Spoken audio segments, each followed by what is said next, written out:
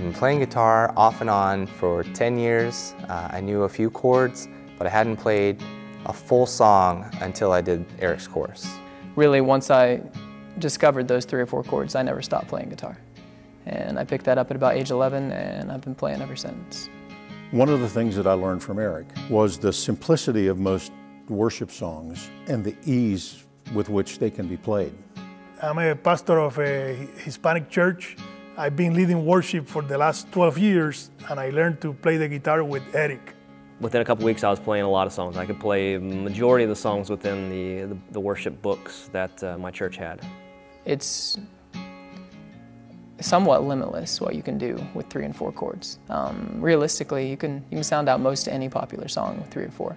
So now I was embarrassed for a really long time or just thought I wasn't good enough to play like in front of any people, but now I feel like I'm more comfortable with it playing guitar. Even though I'm just still in the beginner stages, I feel like I know what I'm doing.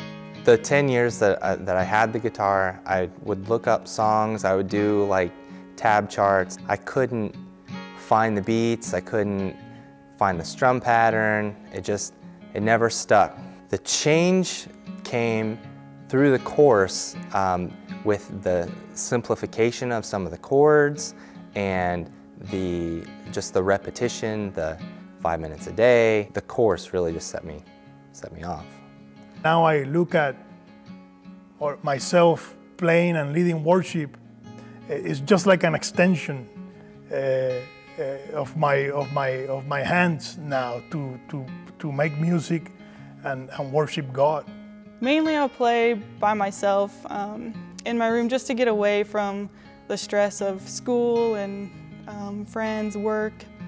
Been very encouraged by my wife who's telling me, you know, you sound great and it's great and we're able to sing along with each other and just have this music in our house that we didn't really have before.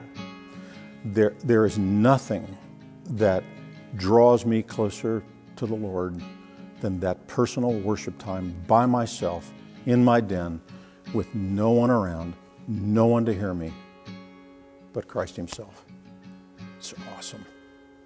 For me, uh, learning to play guitar opened up a lot of opportunities. It, uh, it gave me a, a, really good creative outlet, for one. Also at church, it, helped me to be plugged in and give me a, uh, a definite sense of purpose at church. If you really want to play guitar and, uh, and you've something you've always wanted to do, if, it's, uh, if it seems like a daunting task or uh, overwhelming, just know that it's not. It takes practice, it takes dedication, it takes time, but you can do it. Anyone can do it.